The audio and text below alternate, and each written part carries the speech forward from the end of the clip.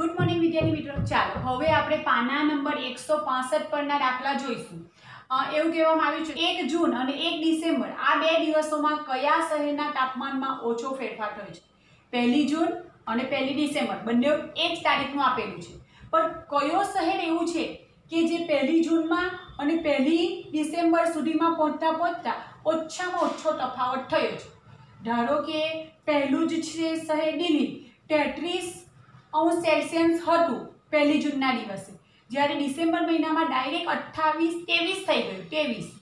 એટલે તેત્રીસમાંથી ત્રેવીસ થઈ ગયું. એટલે કેટલાનો ઘટાડો થયો?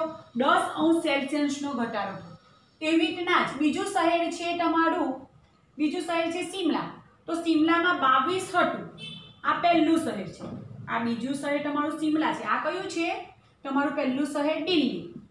દિલ્હીમાં તો દસ ટકાનો ઘટાડો થયો. ચલો, બીજું શહેર તમારું કયું છે? આપણે જોઈએ. દિલ્હીમાં દસ. ચાલો, બીજું શહેર તમારું છે તો બીજું શહેર તમારું સિમલા છે. તો ચાલો સિમલાનું જુઓ. પહેલી જૂને કયું, કેટલું હતું? બાવીસ હતું. અને પહેલી ડિસેમ્બરે દસ. એટલે કેટલાનો ઘટાડો થયો? બાર અંશ સેલ્સિયસનો ઘટાડો થયો. એટલે આટલો ઘટાડો થયો? હવે ત્રીજું છે તમારું તાપ શહેર બેંગ્લોર. કયું છે? બેંગલુરુ. હવે બેંગલુરુનું તાપમાન પહેલી જૂને હતું તમારું અઠ્ઠાવીસ અને પછી પહેલી ડિસેમ્બરે થયું ચોવીસ. એટલે અઠ્ઠાવીસમાંથી ચોવીસ થયું એટલે ચાર અંશ સેલ્સિયસનો ઘટાડો થયો. આટલો તફાવત જોવા મળે છે. હવે છેલ્લું છે. એ છે તમારું જેસલમેર. હવે જેસલમેરનું તાપમાન હતું આડત્રીસ અંશ અને થયું છે પચીસ. એટલે કેટલો ઘટાડો થયો? આપણે જોઈએ. પચીસ ને પાંત્રીસ, છત્રીસ, સાડત્રીસ ને આડત્રીસ. તેર અંશ સેલ્સિયસનો ઘટાડો થયો. બરાબર ને? તો સૌથી ઓછો ઘટાડો એટલે કે તફાવત શામાં જોવા મળે છે આ બધો તફાવત. દસ અંશ સેલ્સિયસનો તફાવત, બાર અંશનો, તેર અંશનો, ચાર અંશનો, તો સૌથી ઓછો તફાવત બેંગ્લોરમાં જોવા મળે છે. બેંગ્લોરમાં સૌથી ઓછો તફાવત જોવા મળે છે. જુઓ, અહીં તમે જોઈ શકતા હશો કે બેંગ્લુર, બેંગ્લુરમાં સૌથી ઓછો તફાવત થયો છે તાપમાનમાં. સૌથી ઓછો તફાવત. અને તે છે ચાર અંશ સેલ્સિયસનો જ, ચાર અંશ સેલ્સિયસનો જ તફાવત થયો છે. હવે આપણે આવ્યા છે પાના નંબર એકસો છાસઠ પરના. જોઈએ શું કહેવામાં આવ્યું છે એકસો છાસઠ નંબરના પેજ ઉપર. ઓસ્ટ્રેલિયાની વાત કરી છે કે ઓસ્ટ્રેલિયામાં સસલાની વાત કરવામાં આવી છે. તો ઓસ્ટ્રેલિયામાં અગાઉના સમયમાં સસલા ન હતા. એટલે વર્ષ સત્તરસો એંસીમાં સત્તરસો એંસીની આસપાસ ઓસ્ટ્રેલિયામાં સસલા લાવવામાં આવ્યા હવે ઓસ્ટ્રેલિયામાં સસલા લાવવામાં આવ્યા તે સમયે સસલાનું ભક્ષણ કરે તેવા કોઈ પ્રાણીઓ હતા નહીં. ભક્ષણ કરે એટલે કે સસલાઓને મારીને ખાઈ જાય એવા કોઈ પ્રાણીઓ હતા નહીં. તેથી સસલાઓની સંખ્યામાં ખૂબ જ વધારો થયો. તેથી ઓસ્ટ્રેલિયામાં એવા કોઈ પ્રાણી ન હતા કે સસલાને મારીને ખાઈ જાય. તેથી શું થયું? સસલાઓની સંખ્યામાં ખૂબ જ વધારો થયો. અને જ્યારે સસલાઓની સંખ્યામાં ખૂબ જ ઝડપથી વધારો થવા લાગ્યો ત્યારે વિચાર કરો, કલ્પના કરો તમે કે જે પાક રોપેલો હશે ખેતરમાં, તેની શું હાલત કરી હશે સસલાએ? કારણ કે સસલા તો ખેતરના પાકોમાં ગાજર એવું બધું રોપેલું એટલે ખાઈ જાય ને? હા, કુમળા કુમળા પાન ખાઈ જાય, એવું કરે એટલે શું હાલત કરી હશે તે નીચેના કોષ્ટકમાં દર્શાવ્યું છે. તમે અહીં કોષ્ટક જોઈ શકતા હશો. આ કોષ્ટક બતાવે છે કે સસલા જ્યારે એક વર્ષમાં આટલો વધારો થયો. બીજા વર્ષે આટલી સંખ્યામાં વધારો થયો, આટલો ઘણો ઝડપથી વધારો થઈ રહ્યો. પ્રતિ વર્ષે સસલાની સંખ્યા કેટલી ઝડપથી વધી રહી છે તે દર્શાવી રહ્યું છે. થોડા પ્રશ્નો પૂછ્યા છે, તેના જવાબ આપીશું. પહેલો જ સવાલ છે, દરેક વર્ષે, દરેક વર્ષ પછી સસલાની સંખ્યા ખાલી જગ્યા હતી. દરેક વર્ષ પછી સસલાની સંખ્યા ખાલી જગ્યા હતી. ઓપ્શન પણ આપ્યા છે. પાછળના વર્ષના સંખ્યાની બમણા કરતાં થોડી ઓછી પાછળના વર્ષની સંખ્યાની બમણી, પાછળના વર્ષની સંખ્યા કરતાં આઠ વધુ, પાછળના વર્ષની સંખ્યાના બમણા કરતાં વધુ.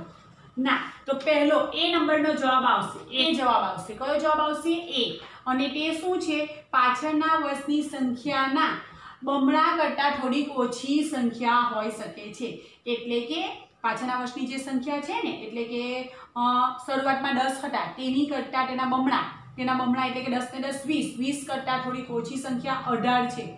જો, એટલે એના બમણા કરતાં થોડીક ઓછી સંખ્યા હોય છે. પહેલા પ્રશ્નનો જવાબ મળી ગયો એ. ચાલો, હવે બીજું છે. છ વર્ષના અંતે, બીજા નંબરનો સવાલ. છ વર્ષના અંતે સસલાની સંખ્યા ખાલી જગ્યાને નજીક હતી. હવે છ વર્ષને અંતે સસલાની સંખ્યા કેટલી થાય? તો વિચાર કે સસલાની સંખ્યા ચારસો હોય, છસો હશે કે આઠસો હશે? તો પાંચ વર્ષે જો એક, ચાર વર્ષે એકસો આઠ છે. ચાર વર્ષે એકસો આઠ છે. તો પાંચ વર્ષે વધારેમાં વધારે બસોની આસપાસ થાય. બરાબર? તો છ વર્ષે બસો કરતાં ડબલ. તો ચારસો જેટલી થઈ શકે.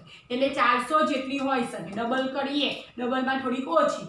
તો ચારસો જેટલી હોઈ શકે. પણ છસો આઠસો હોઈ શકે નહીં એટલે ચારસો ઉપર રાઈટ ક્લિક કરાશે.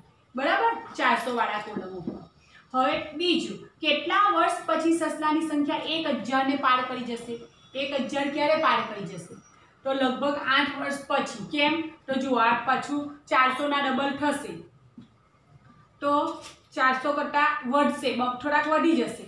તો તેની કરતાં થોડા વધશે, એટલે આઠ વર્ષ પછી થશે, છસો થશે, આઠસો થશે, અને પછી કંઈ હજાર જેવું થઈ જાય. તો સાત, અને આઠ વર્ષ પછી હજાર જેટલી સંખ્યાને તે પાર કરી શકશે. ઓકે? એટલે આ રીતે સસલાની સંખ્યામાં વધારો જોવા મળશે. એટલે કે તે બે ગણો નથી વધતો, પણ બે એના બમણાથી થોડો ઓછો હોય છે. હવે આપણે પાના નંબર એકસો અડસઠ અને એકસો ઓગણસિત્તેર પરની વાત કરીશું. એટલે કે વન સિક્સ એટ અને વન સિક્સ નાઇન. એકસો અડસઠ અને એકસો ઓગણસિત્તેર નંબરના પેજ ઉપરની વાત કરીશું. તેમાં એવું કહેવામાં આવ્યું છે કે છોડની વૃદ્ધિનું કોષ્ટક આપવામાં આવ્યું છે. છોડ જ્યારે વૃદ્ધિ પામે છે, જ્યારે છોડના તમે દાણા નાખો છો, કંઈ દાણા નાખો ને છોડ ઉગે છે, ત્યારે તે કેટલો વિકાસ પામે છે, તેની વાત કરવામાં આવી છે. તો અહીં તમે એ કોષ્ટકને જોઈ શકતા હશો કે પહેલા દિવસે કે જ્યારે એક પણ દિવસ એને રોપ્યું જ નથી, ત્યારે એનો વિકાસ શૂન્ય છે. અને પહેલાં ચોથા દિવસે એનો કેટલી વૃદ્ધિ થઈ? તો સ્કેલમાં બતાવવામાં આવી રહ્યો છે. ચાલો તમે પહેલાં અહીં જોઈ લો. આ છે તેના દિવસો અને તેનો હવે સ્તંભ આલેખ જોઈએ. તો જુઓ, હવે આ છે તેનો આલેખ. હવે આ આલેખમાં જુઓ કે ચોથા દિવસે તે આટલો વિકાસ પામે છે. ચાર દિવસ થાય છે, ત્યારે તેની આટલી વૃદ્ધિ થાય છે. હવે આઠમા દિવસે આટલી, પછી બારમા દિવસે આટલી, સોળમા દિવસે આટલી અને વીસ દિવસ થાય છે, ત્યારે તે દસ પોઈન્ટ નવ જેટલો વિકાસ પામે છે. ચાલ, તો હવે એના થોડા પ્રશ્નોના જવાબો આપી કે વૃદ્ધિ કોષ્ટક પરથી શોધી કાઢવાનું છે કે કયા દિવસ દરમિયાન છોડની ઊંચાઈમાં વધુમાં વધુ ફેરફાર થયો છે? વધુમાં વધુ કયા દિવસોમાં વધુમાં વધુ ફેરફાર થયો છે? તો તમે આ કોષ્ટક જે સ્તંભ આલેખ છે ને, એના પરથી જે બિંદુ મૂકેલા છે, એના પરથી આપણે ખબર પડી જશે. તમે લાલ કલરના ડોટ ડોટ ડોટ જુઓ છો. એ વધારો બતાવે છે. તો સૌથી વધારો કયા દિવસોમાં થયો છે? તો આઠથી બારના દિવસોમાં સૌથી વધુ છોડનો વિકાસ થયો છે. ચાલો, બીજા નંબરનો પ્રશ્ન, ચૌદમા દિવસે આ છોડની ઊંચાઈ કેટલી હશે? અનુમાન કરો. ચાલો, બારમા દિવસે જો, બારમા દિવસે નવ પોઈન્ટ ત્રણ છે અને સોળમા દિવસે દસ પોઈન્ટ બે છે. તો આ બેની વચ્ચે અની હોઈ શકે. ચૌદમો દિવસ આ બેની વચ્ચે આવ્યો ને? એટલે ચૌદમા દિવસે આ બેની વચ્ચેનું હોઈ શકે તો કેટલું હોઈ શકે? પછી પંદર છે આની પછી તો. તેથી નવ પોઈન્ટ નવ જેટલી એની ઊંચાઈ થયેલી હશે એટલે કે બીજા નંબરનો જવાબ આવશે. ચાલ, હવે ત્રીજા નંબર. શું છોડ હંમેશા વધતો જ રહેશે? છોડ હંમેશા વધતો જ રહેશે? તો હા, છોડ હંમેશા વધતો જ રહેશે. પછી એમ કહેવામાં આવ્યું છે કે સોમા દિવસે તે છોડની ઊંચાઈ કેટલી હશે? તો સોમા દિવસે તે છોડની ઊંચાઈ કેટલી હશે? તો સત્તરથી અઢાર સેન્ટીમીટર ઊંચો છોડ થઈ ગયેલો હશે. સત્તરથી અઢાર સેન્ટીમીટર ઊંચો છોડ આશરે આપણે અંદાજ લગાવીએ છીએ કે એટલો ઊંચો થઈ ગયેલો હશે. આ રીતે તમારે પણ તમારી નોટબુકમાં આ રીતે બનાવવાનો રહેશે. આ રીતે તમે નોટબુકમાં પ્રેક્ટિસ કરજો. એવું નથી કે ગણિતની નોટમાં જ બનાવો. પણ તમારે કોઈ રફ નોટમાં પણ પ્રેક્ટિસ કરજો. એટલે આવું બધું જાણવા તમને મળે.